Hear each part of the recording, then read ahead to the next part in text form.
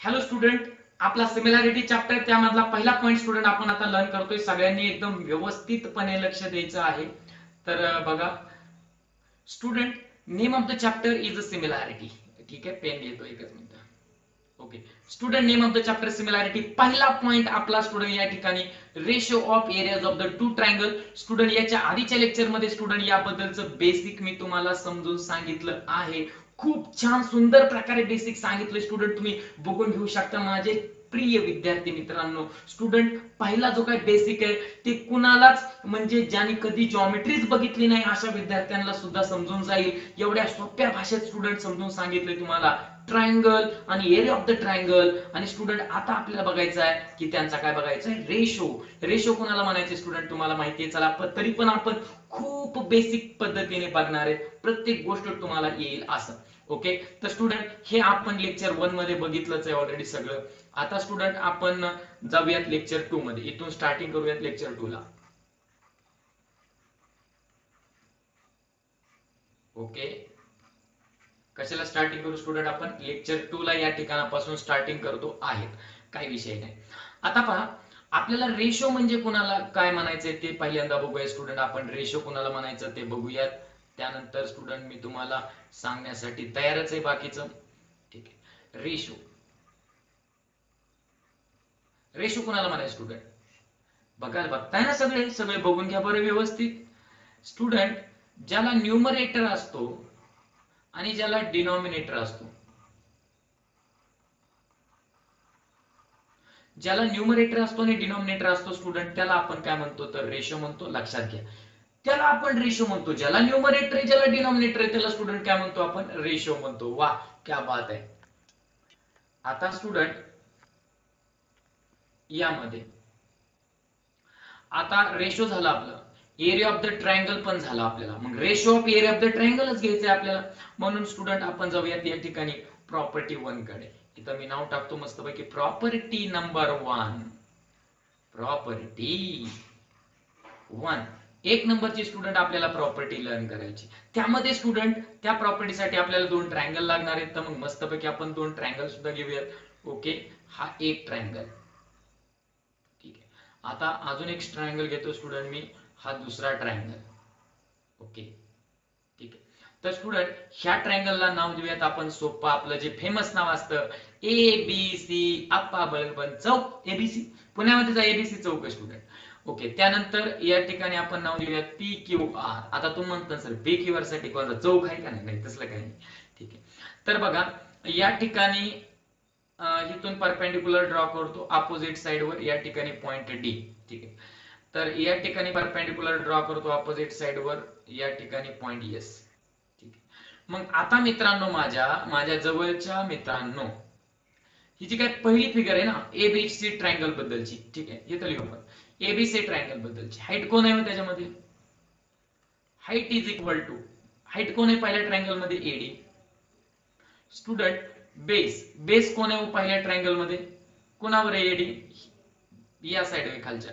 म्हणजे स्टुडंट ती काय झालं? बीसी इज बेस स्टुडंट यासाठी झालं आता ह्यासाठी आपण लिहूया स्टुडंट जी उभी आहे हो काही ही कोण झाली? स्टुडंट हाईट म्हणजे या ठिकाणी लिहूयात आपण. हाईट हाईट कोण झाली हो मित्रांनो? पीएस हाईट झाली. बरोबर ना? बरोबर ना? हो बेस मग हाईट कोणावर आहे हो माझे मित्र? माझे प्रिय मित्र कोणावर आहे हाईट क्यू आर वरती. ओके म्हणजे क्यू आर कोण झाला मित्रांनो? माझा बेस झाला. वा. मस्त पर्यंत इथपर्यंत तुम्हाला कळालं असेल. मग आता आपण लिहिणार एरिया ऑफ ट्रायंगल एबीसी आणि area of triangle P Q R ठीक आहे? चला या ठिकाणी मस्तपैकी लिहूया. Area of triangle ABC triangle आहे area of triangle ABC equal to formula घ्या one by two multiply formula काय असतो स्टुडंट तुम्हाला माहिती आहे area of triangle equal to one by two into base into height मग हा जो काय आपली फिगर आणि ही फिगर त्या फिगरसाठी स्टुडंट आपण या ठिकाणी फॉर्म्युला येतोय one by two into base base किती? हो ओके या ठिकाणी दाखवला बेस बेस किती स्टुडंट बीसी सो स्टुडंट या ठिकाणी बीसी मल्टिप्लाय हाईट किती स्टुडंट वाचा तुम्ही तुम्ही वाचा. एडी एडी एडी हाईट किती? एडी ओके झालं एबीसी बद्दल. आता एरिया ऑफ ट्रायंगल कोणता ट्रायंगल आहे मित्रांनो माझ्या? पिकी वार ट्रायंगल आहे. ठीक आहे. मग आता त्याची त्याची त्याची. पिकी of ट्रायंगलची formula one by two into into base base into height मग स्टुडंट या ठिकाणी बेस तर दाखवला बेस किती आहे? Q R Q R Q R Q R Q R is the base height height height किती स्टुडंट हाईट या ठिकाणी हाईट किती आहे स्टुडंट तर पीएस हाईट आहे. काय height student student PS height आहे. आता दोन ट्रायंगलच्या एरियांचा आपल्याला घ्यायचा आहे रेशो घेऊयात आपण घेऊयात घेऊयात रेशो घेऊयात. स्टुडंट बघा या ठिकाणी मस्त पैकी रेशो घ्यायचा आहे. मग रेशो कसा असतो माहिती न्यूमरेटर आपण डिनॉमिनेटर न्यूमरेटर आपण डिनॉमिनेटर मग आता हे जे काही दोन आपले ट्रायंगल आहेत त्यांची एरिया त्यांचा रेशो घ्यायचा मग घेऊयात मग इथे लिहूयात आपण टेकिंग रेशो टेकिंग रेशो मग रेशो घेऊया मग ह्या पहिल्याचा आणि दुसऱ्याचा रेशो घ्या. मग पहिल्यावरती area of triangle A B C okay आपण area of triangle area of triangle P Q R बरोबर? इक्वल टू मग स्टुडंट इक्वल टू काय येणार? वरती येणार one by two into B C into AD okay आपण आपण आपण आपण काय student one by two into काय student Q R into P S one by two into Q R into P S one by two into Q R into P S म्हणजे student हा ratio घेतला आपण. काय घेतला? Ratio पण सगळे माझे मित्र मित्र म्हणजे मित्र मित्र माझे मित्र सगळ्यांनी एक गोष्ट लक्षात घ्या. काय लक्षात घ्या बघा? की या ठिकाणी एकच मिनिट माझे मित्र माझे मित्र माझे मित्र. लक्षात घ्या. हे one by two one by two cut one by two one by two cut one by two one by two cut म्हणजे राहिलं काय फक्त?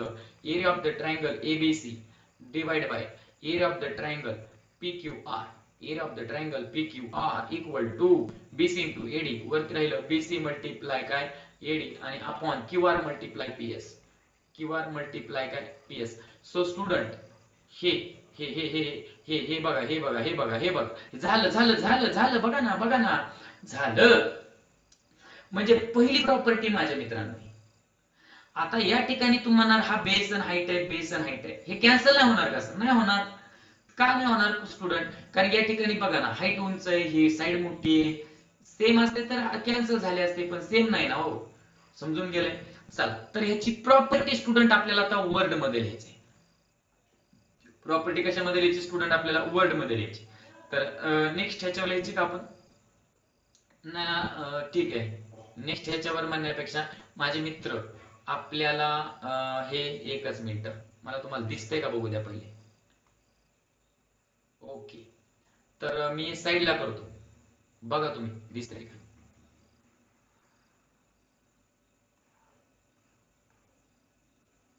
पाच आहे. इथं काय काय लिहिले तुम्ही बघून घेऊ शकता. हे काय काय लिहिले बघा स्टुडंट तुम्ही आता. एकच मिनिट. हे स्टुडंट काय काय लिहिले इथं बघा तुम्ही. मी माझी फोटो सरकवला जायला सरकवला तुम्ही हे बघून घेऊ शकता. काय लिहिले ओके ठीक आहे.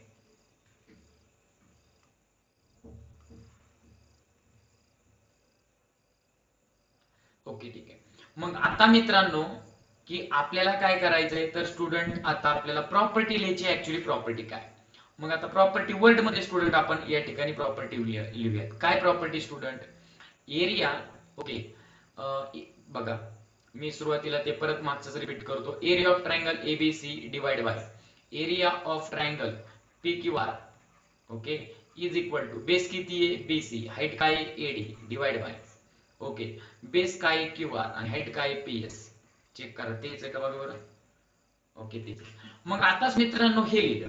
पण याच्यावरून आता प्रॉपर्टी आपल्याला लिहायची मित्रांनो. प्रॉपर्टी कशी लिहिणार बघा. द रेशो ऑफ हे रेशो आहे ना रेशो आहे ना स्टुडंट ह्यो काय आपला रेशो आहे ना इथून इथपर्यंत रेशोच आहे ओके मग आता प्रॉपर्टी वर्डमध्ये कसं येणार बघा. The the ratio of ratio कोणाचा? Ratio of areas of ratio of areas of two triangle दोन ट्रायंगल आहेत. Ratio of areas of two triangle okay ratio of areas of two triangle is equal to किंवा ratio कसा equal to म्हणून इथं लिहिलं is equal to is equal to पुढं पण काय? रेशोच आहे ना वर आणि खाली ना.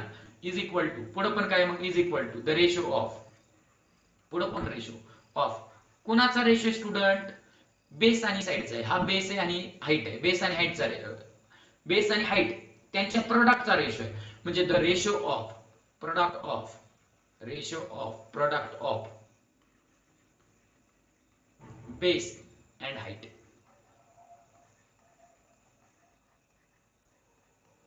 समजून गेलं स्टुडंट ही प्रॉपर्टी आपली स्टुडंट पहिली. आता आपण प्रॉपर्टी सेकंडकडे जाऊयात मग या ठिकाणी स्टुडंट मी नाव टाकतो मस्तपैकी. प्रॉपर्टी टू आता आपल्याला लर्न करायची स्टुडंट काय? प्रॉपर्टी नंबर टू म्हणजे काय प्रॉपर्टी आता दुसरी? बघूयात चला. चला चला चला चला पटा पटा पटा. उशीर झालाय मला लई. मला गावाला जायचंय. बघा प्रॉपर्टी टू मग आता प्रॉपर्टी टू काय पहा स्टुडंट की एक ट्रायंगल आहे. प्रॉपर्टी टू अशी स्टुडंट की त्यामध्ये पण आपल्याला दोन ट्रायंगलचा एरियाचा रेशोज घ्यायचा आहे. पण जे आपले दोन ट्रायंगल असणार आहेत त्या दोन्ही पण ट्रायंगलची आता जी हाईट आहे ना ती हाईट ही सेम असणार आहे. मी हाईट सेम असणारे दोन ट्रायंगल ड्रॉ करतोय स्टुडंट आता. काय ड्रॉ करतोय? हाईट सेम असणारे दोन ट्रायंगल ड्रॉ करतोय. आणि स्टुडंट काही ठिकाणी कॉमन ओके हाईट सेम आणि कॉमन हाईट ह्यामध्ये फरक आहे. हाईट सेम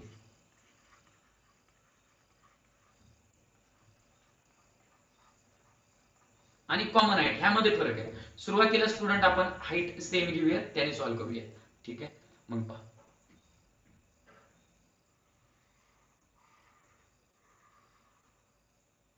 शिवाय एक आपला एक ट्रायंगल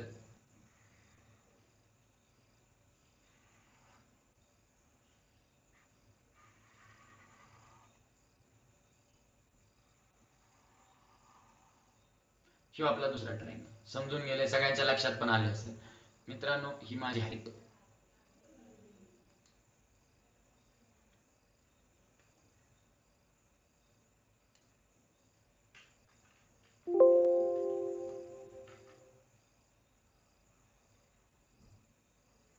माझी ही ह्या ट्रायंगलची हाईट ओके ह्यांना आपण नाव द्यायची आता मस्तपैकी. छान छान नाव द्यायचे. बघा काही नाव द्यायची बाई. बघा. ओके मग आता स्टुडंट या ठिकाणी पहिल्याचं नाव आहे ए ओके एबीसी तेच नाव देऊयात. मस्त वाटतात तेच. एबीसी या ठिकाणी डी हाईट आहे ना एडी जी हाईट आहे ना त्याला एक स्पेसिफिक लेटर देऊया स्टुडंट आपण. एच चार पाच सेंटीमीटर हाईट असते ना तसं एच म्हणलो आपण. एच काहीतरी नंबर आहे. ठीक आहे. आता या ठिकाणी बघा. पी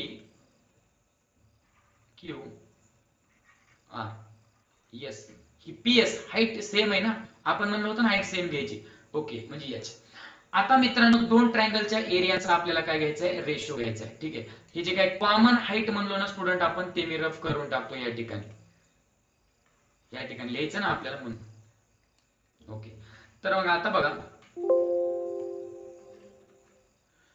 तर स्टुडंट एक मिनिट हा, वा ठीक आहे. तर आता स्टुडंट पहिला ट्रायंगल त्याचा आपल्याला लिहायचा. दुसरा ट्रायंगल त्याचा लिहायचा आणि त्याचा काय घ्यायचा आपल्याला? रेशो मग या ठिकाणी जाऊयात आपण. Area of triangle ABC is equal to काय असतं?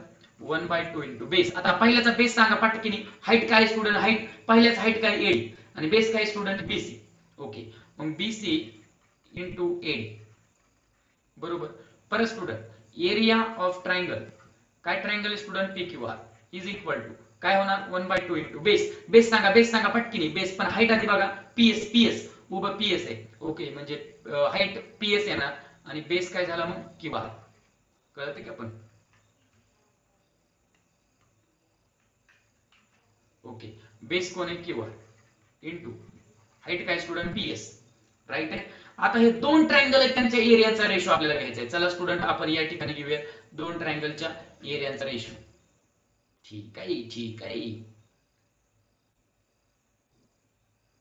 काय घेऊ कसला कलर चालेल मग स्टुडंट या ठिकाणी लिहूयात आपण दिसत नाही ना पोपटी दिसत नाही दुसरा घेतो कलर हिरवा दिसतो. मग या ठिकाणी student area of triangle ABC आणि त्याचा रेशो कोणासोबत घ्यायचा area of triangle P Q R बघा area of triangle ABC upon area of triangle P Q R is equal to आता one by two one by two तर cut होणार तुम्हाला माहिती रेशो घेतल्यावर रेशो घेतल्यानंतर हे दोन कट होतील. मग फक्त राहील तेच लिहूयात आपण. पहिल्या प्रॉपर्टीनुसार BC into AD divide by Q R into P S पहिली प्रॉपर्टी अशीच आहे ना student one by two one by two cut झाली. पहिली प्रॉपर्टी अशीच आहे. आता मित्रांनो इक्वल टू आता एडी ची किंमत किती स्टुडंट या ठिकाणी. हे एडी आणि त्याची किंमत किती? एच म्हणजे आपण इथं लिहूयात. बीसी बेस त्याची किंमत माहिती नाही. एडी ची माहिती एच आपण क्यू आर ची माहिती क्यू आर चं क्यू आर कारण या ठिकाणी क्यू आर ची किंमत माहीत नाही ना.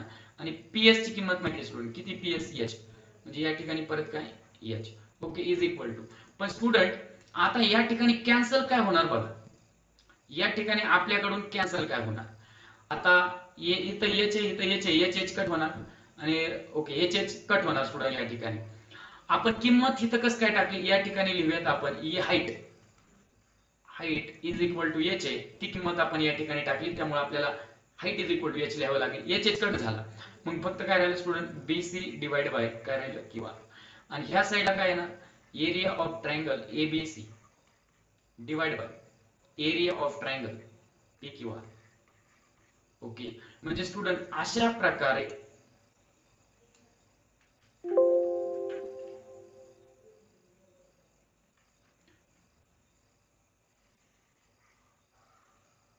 ही आपली झाली प्रॉपर्टी टू झाली. काय झाली स्टुडंट आपली प्रॉपर्टी टू मग ह्याला वर्डिंगमध्ये आपल्याला लिहावं लागेल ना. वर्डिंगमध्ये स्टुडंट आपल्याला लिहावं लागेल ना. वर्डिंगमध्ये लिहावं लागेल हा काय स्टुडंट ह्या साईड एलच्या साइडचा काय ratio of areas of two triangle having same height okay is equal to the ratio of ratio of its bases only bases only मग स्टुडंट या ठिकाणी आपण स्टुडंट इथपर्यंत प्रॉपर्टी लिहूया ठीक आहे. द रेशो ऑफ बघा व्यवस्थित लिहितो या इथून. The ratio of areas of the ratio of areas of two triangle okay having having same height जे दोन ट्रायंगल आहेत ना त्याची हाईट कशी आहे सेम आहे is equal to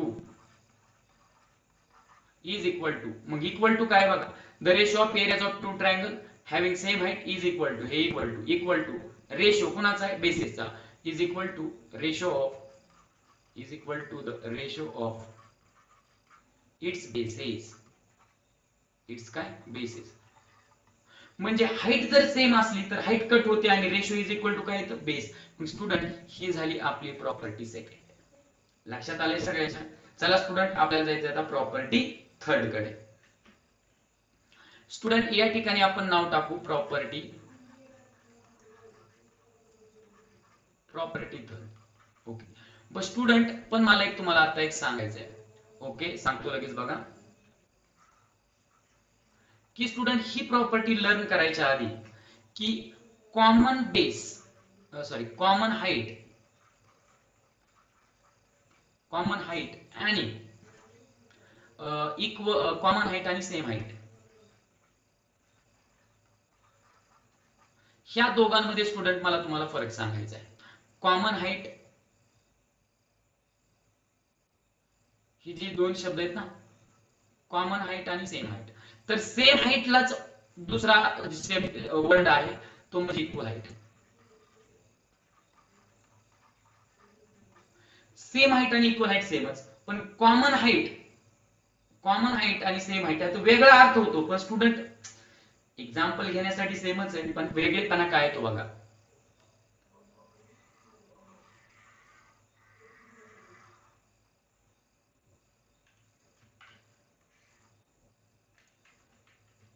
मला एक सांगू द्या आधी.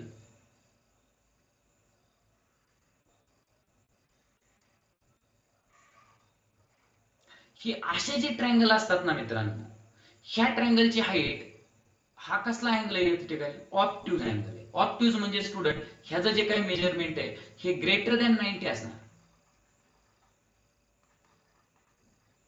ह्याचं जे काही मेजर आहे ते काय असणार? ग्रेटर दॅन नाईन्टी आणि जिथं ग्रेटर दॅन नाईन्टी असताना त्याची जी हाईट असते हाईट ती बाहेर असते स्टुडंट ट्रायंगलच्या ट्रायंगलच्या बाहेर असते हाईट मग स्टुडंट या ठिकाणी हाईट काय येणार बघा?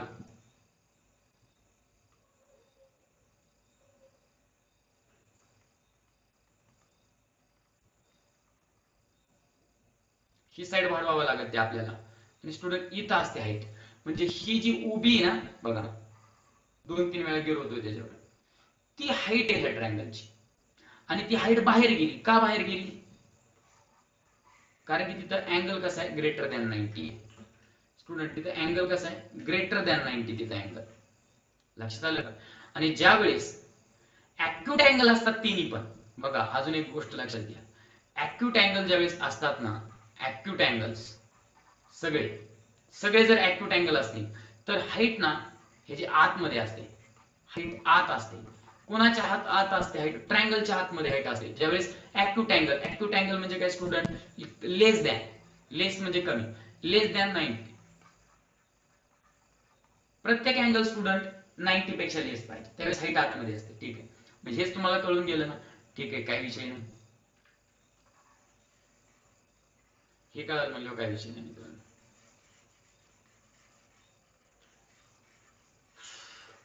ठीक आहे काय विषय नाही. आता मला तुम्हाला मेनली समजून सांगायचे ते म्हणजे काय मित्रांनो तर कॉमन हाईट कुणाला म्हणायचंय? बघा मी फिगर काढतोय आता ट्रायंगलची याच्यामध्ये दोन ट्रायंगल तयार झाले स्टुडंट ह्यांना नावं देऊन देऊन टाकू आपण. एबीसी या ठिकाणी देऊन टाकू. ह्या ठिकाणी एकूण तीन ट्रायंगल तयार झालेत मित्रांनो.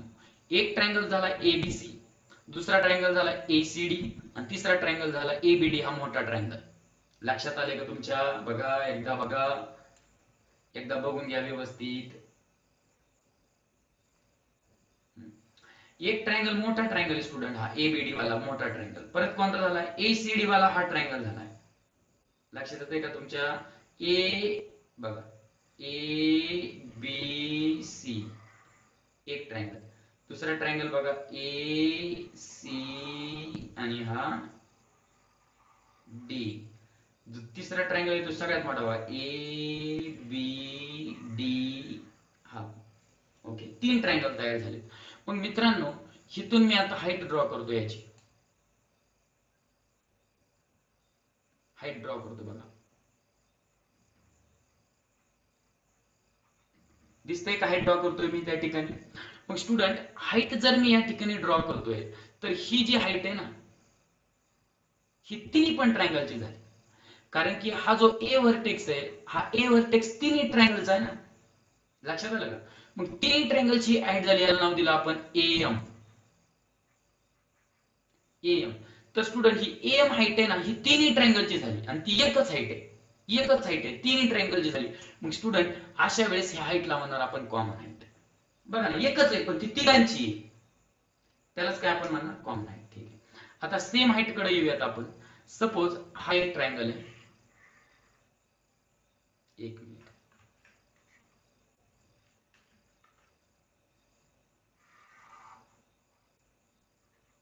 ही एक साइड आहे. ही दुसरी साइड स्टुडंट ह्या दोन साइड आहेत ना ह्या पॅरल साइड आहेत कसल्या साइडचे दोन साइड दोन साइड पॅरल साइड आहेत. लक्षात घ्या. लक्षात घ्या लक्षात घ्या. ह्याच्या दोन साइड आहेत ना पॅरल ही यल आहे आणि सपोज याला नाव दिलं एम आपण. दोन्ही साइड पॅरल तर L is a parallel with M okay किंवा तुम्ही असं लिहू शकता side L parallel with side side M side L is a parallel with the side M okay मग स्टुडंट ज्यावेळेस दोन साइड जर पॅरल असतात ना त्यावेळेस त्यांच्यामधलं परपेंडिक्युलर डिस्टन्स सेम असतं. म्हणजे काय? हे हे सेम असतं. परपेंडिक्युलर डिस्टन्स सेम असतं. लक्षात आले सगळ्यांच्या? ओके मग ह्याच्यावरून काय सांगणार सर तुम्ही? मिक्स मी सेम हाईटबद्दल सांगतो. सेम हाईट कधी असते?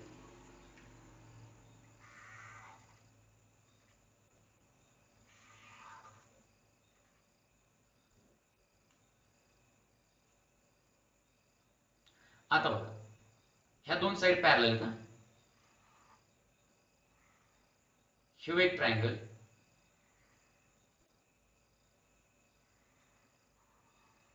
आणि दुसरा ट्रायंगल हे दोन ट्रायंगल झाले स्टुडंट तर ह्या दोन ट्रायंगलमध्ये ही हाईट आणि ही ट्रायंगलची हाईट म्हणजे ह्या हाईट ह्या दोन काय झाल्या स्टुडंट दोन्ही पण हाईटच आहेत. आणि हे दोन पॅरल आहेत ना? दोन पॅरल म्हणून त्यांच्यामधला अंतर सेम असतो. मग अशा वेळेस ह्या ज्या काय हाईट आहेत ना ह्या हाईट ह्या हाईट कशा असतात? इक्वल असतात. अशा वेळेस ह्या हाईट काय असतात? इक्वल असतात. सगळ्यांच्या लक्षात आलं असेल. ओके हाईट्स आर इक्वल ह्या दोन हाईट कशा झाल्या मित्रांनो? इक्वल झाल्या. म्हणजे असा आहे ह्या हाईटचा फंडा कॉमन हाईट आणि इक्वल हाईट किंवा सेम हाईट ठीक आता स्टुडंट आपण जाऊयात ते म्हणजे ratio of third property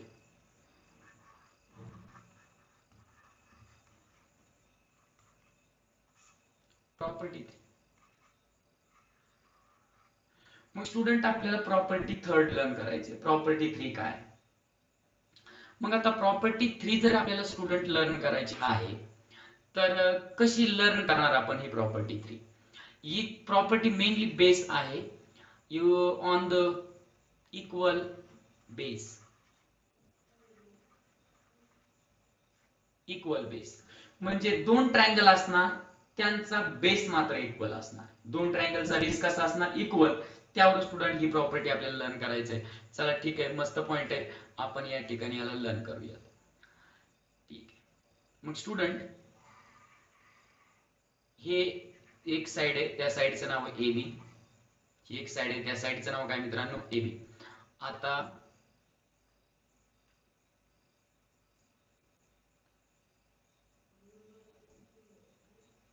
हा?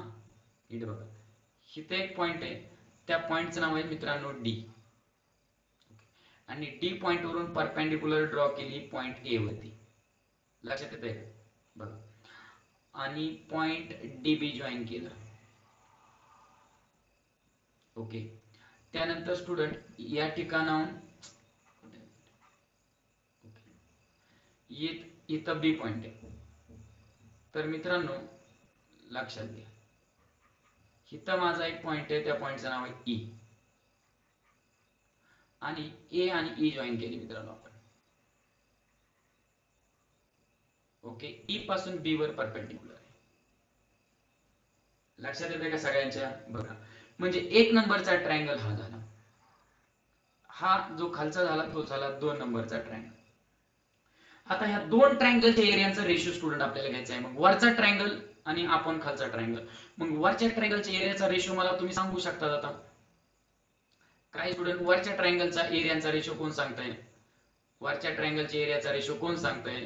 करा बरं तोंडात पटावकनी ओके एरिया ऑफ ट्रायंगल वरचा ADB area of triangle ADB is equal काय असतो फॉर्म्युला आपला? One by two into base into height base काय मग बघा. ओके हाईट बघा पहिले. वरचा ट्रायंगल हाईट परपेंडिक्युलर ओके मग बेस कोण झाला? ए बी खालचा ट्रायंगल ही परपेंडिक्युलर ई बी मग बेस कोण झाला? ए बी म्हणजे ए बी दोघांमध्ये पण बेस आहे. कॉमन बेस आहे. एकच बेस आहे पण दोघांचा आहे. म्हणजे कॉमन बेस ओके चला वरच्यासाठी फॉर्म्युला लिहा. बेस बेस काय? ए बी कळालंय आपल्याला. बेस इज ए बी आणि हाईट हाईट काय मित्रांनो? ए डी समजून गेले. किंवा डी ए तुम्ही डी ए लिहिले तरी पण चालेल. लक्षात आले ओके तर आता परत एरिया ऑफ ट्रायंगल खालच्या ट्रायंगलचं नाव काय? ए बी ई कसं नाव वाचता ई ए बी वाचा. ए बी ई वाचा. ई बी ए वाचा. ओके कसं ए वाचा? A B E equal to काय फॉर्म्युला आहे? One by two into base base काय मित्रांनो? ए बी इंटू हाईट काय मित्रांनो? बी म्हणजे area of the triangle A B E is equal to one by two into base into height असं.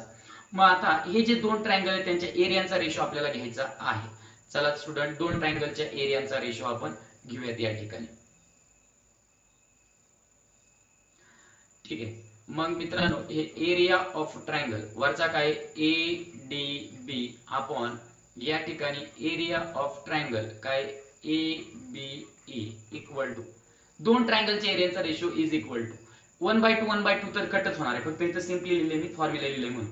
आता base base कोण आहे मित्रांनो? ए बी मल्टिप्लाय हाईट कोण आहे मित्रांनो? डी आपण खाली. या ठिकाणी. परत आता खालच्या ट्रायंगलचं इथं बेस आहे आणि हाईट लिहा. काय? A B into height height काय स्टुडंट बी आता स्टुडंट यामध्ये कॅन्सल होणार ना? आता काय कॅन्सल होणार स्टुडंट त्या ठिकाणी जो बेस आहे तो कॅन्सल होणार? म्हणजे A B A B cut होणार ऍटोमॅटिकली म्हणजे राहणार काय? Area of triangle A D B divide by area of triangle A B E equal to वरती कोण आहे? डी आणि आपण कोण आहे? बी कट का केलं तर त्याचा आपण रिझन घेऊ स्टुडंट या ठिकाणी equal sorry common base common base त्याच्यामुळे स्टुडंट बेस कट झाले ए बी कट झालं. आणि फक्त ही D A he D A आणि ही बी एवढंच राहिलं. आणि हे दोघं पण काय आहेत मित्रांनो? हे डी ए पण काय हाईटच आहे आणि हे पण काय स्टुडंट हाईटच आहे. म्हणजे हा जो रेशो कोणाचा झाला? हा जो रेशो आहे ना तो रेशो कोणाचा झाला? हा झाला ratio of height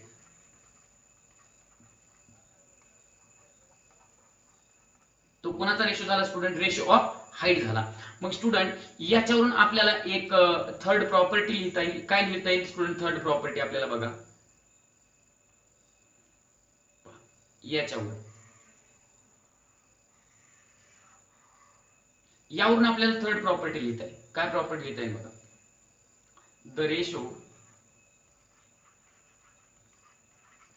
ratio of areas of two triangles. Ratio of areas of two triangles. Having having common base. Base कसा आहे स्टुडंट तिथं? कॉमन बेस आहे. Is equal to common base the ratio of areas of two triangle having common base is equal to is equal to equal to पण काय student again बघा ratio रेशोच आहे. Is equal to the ratio of is equal to the ratio of area ratio of its heights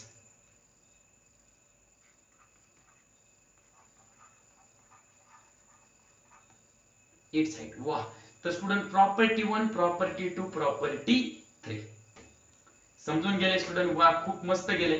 तर student सगळ्यांना सांगण्यात येते आपण आता इथपर्यंत पोहोचलेलो आहोत की जिथपर्यंत बघा आपण इथपर्यंत पोहोचलेलो आहोत की जिथपर्यंत की आपल्याला आता प्रॅक्टिस सेट घ्यायचा आहे वन पॉईंट वन जॉमेट्रीचा सिमिलॅरिटी मधला पहिला प्रॅक्टिस सेट घ्यायचा आहे. खूप सोपा आहे एकाच लेक्चरमध्ये तो पण काही स्टुडंट संपून जाईल.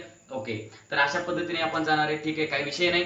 पण स्टुडंट एक लक्षात घ्या की आपण काय काय शिकलो आता ह्या चॅप्टरमध्ये चॅप्टरमध्ये चॅप्टरमध्ये स्टुडंट आपण शिकलो ते म्हणजे प्रॉपर्टी प्रॉपर्टीज ओके किती प्रॉपर्टी शिकलो student property one property two आणि प्रॉपर्टी थ्री ह्या तिन्ही प्रॉपर्टी स्टुडंट आपण काय करा? नोटबुकमध्ये लिहून काढा. ती पण प्रॉपर्टी स्टुडंट आपल्या नोटबुकमध्ये लिहून काढा. त्या त्यानंतर नेक्स्ट लेक्चरमध्ये आपल्याला लर्न काय करायचं ते सांगतो. Practice set student one point one आपण कंप्लीट सोडवणार आहोत.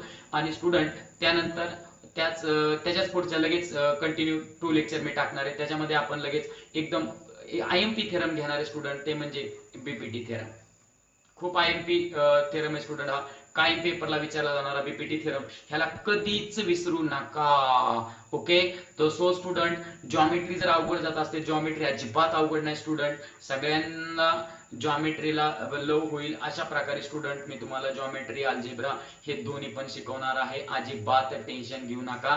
आणि स्टुडंट सायन्समध्ये तर तुम्हाला माहितीच आहे सायन्समध्ये आपण काय करू राहिलो स्टुडंट तुम्हाला प्रॅक्टिकली समजलं पाहिजे त्यासाठी स्टुडंट खूप छान प्रकारचे आपण प्रेझेंटेशन बनवतोय. काय बनवतोय स्टुडंट आपण खूप छान प्रकारचे प्रेझेंटेशन बनवले. तुम्ही पण बघतायत आता किती चांगल्या प्रकारे तुम्ही एन्जॉय करता. कधी स्टुडंट सगळ्यांना सांगण्यात येते की DNA okay DNA M R N A okay M R N A okay? T R N A student ह्या न पाहणार तुम्हाला पाहता येणार नाही स्टुडंट हे फक्त तुम्ही ऐकून रट्टा मारून लक्षात ठेवू शकता. पण स्टुडंट आपण आपल्या प्रेझेंटेमध्ये प्रेझेंटेशनमध्ये व्हिज्युअलाइज ओके? व्हिज्युअलाइज होण्यासाठी स्टुडंट प्रेझेंटेशन खूप मेहनत घेऊन स्टुडंट मी बनवतोय. आणि ते तुमच्यासाठी बनवतोय तुम्ही जरूर त्याचा फायदा घ्या मित्रांनो. खूप मस्त प्रकारे तुम्ही बघता येणार आहे. सगळ्यांना माझं एक गोष्ट लक्षात घ्या. तुम्ही रट्टा मारून लक्षात ठेवू नका. रट्टा मारून लक्षात ठेवलं तर तुम्ही विसरणार नक्की मित्रांनो रट्टा मारून लक्षात ठेवू नका. ती गोष्ट तुम्हाला दिसली पाहिजे दिसली पाहिजे दिसली पाहिजे. ओके? तर तुम्ही एक गोष्ट लक्षात घ्या. समजा मी तुम्हाला सांगितलं स्टँड वरती एक एक संतोष राऊत या नावाचा मुलगा आला आणि त्याला शोधा. तुम्ही पाठ केले संतोष राऊत संतोष राऊत संतोष राऊत संतोष राऊत. स्टँडवर गेल्यावर तुम्हाला कळणार आहे का कोण आहे संतोष राऊत? नाही कळणार. मग मित्रांनो त्यासाठी तुम्हाला पाहावं लागेल तर ते समजेल काय ते? त्यासाठी student visualization is a best concept for this आणि म्हणून स्टुडंट मी थोडा वेळ लावला आपला ग्रॅव्हिटेशन चॅप्टर शिकवण्यासाठी. का? कारण की आपले पुढचे प्रेझेंटेशन तयार व्हायचं काम चालू होतं. ओके त्यासाठी मी तुम्हाला स्टुडंट तसं पेशन्स ठेवायला लावले किंवा असं न कळत तिथपर्यंत नेलं. आणि आता स्टुडंट प्रेझेंटेशन आपण खूप मस्त प्रकारे आता सायन्स लर्न करणार अजिबात काळजी नाही. स्टुडंट आता सपोज हेरिडिटरी चॅप्टर आहे. डायनोसर कसे म्हणजे कसे नष्ट झाले स्टुडंट नामशेष कसे झाले? पेरिश कसे झाले? कसं कळणार ना आपल्याला? नुसतं सांगून झालं असं जमणार का की भूकंप आला आणि त्यात ते गेले त्यांना खायला नव्हतं काहीच. पण तिथंच मी जर तुम्हाला व्हिडिओ दाखवला तर खूप छान पद्धतीने तुम्हाला समजणार. म्हणून सगळ्यांना सांगण्यात येत आहे की तुम्हाला एक काम करायचं आहे की व्हिज्युअलायझेशनसाठी आपल्याला सायन्स इम्पॉर्टंट आहे त्यामुळे सगळ्यांना सांगण्यात येत आहे सायन्सच्या बॅचेस जॉईन करा फटाफट फटाफट. ओके चला आता स्टुडंट आपण जाऊयात आता नेक्स्ट लेक्चरमध्ये. Assignment time to time complete करा. सगळ्यांना सांगण्यात येते टेस्ट कंप्लीट करा. नीट फाउंडेशन आणि जेई फाउंडेशन ओके ह्या ज्या काही टेस्ट आहेत ह्या देत चला कारण एमपीएससी युपीएससी नीट जेई मध्ये तुम्हाला फायदा होणारच आहे. ठीक आहे? ओके धन्यवाद. चला एन्जॉय करा लेक्चर्स आणि तुमची तयारी लावा. तोपर्यंत मी माझी पुढचं लेक्चर घ्यायची तयारी लावतो. ठीक आहे?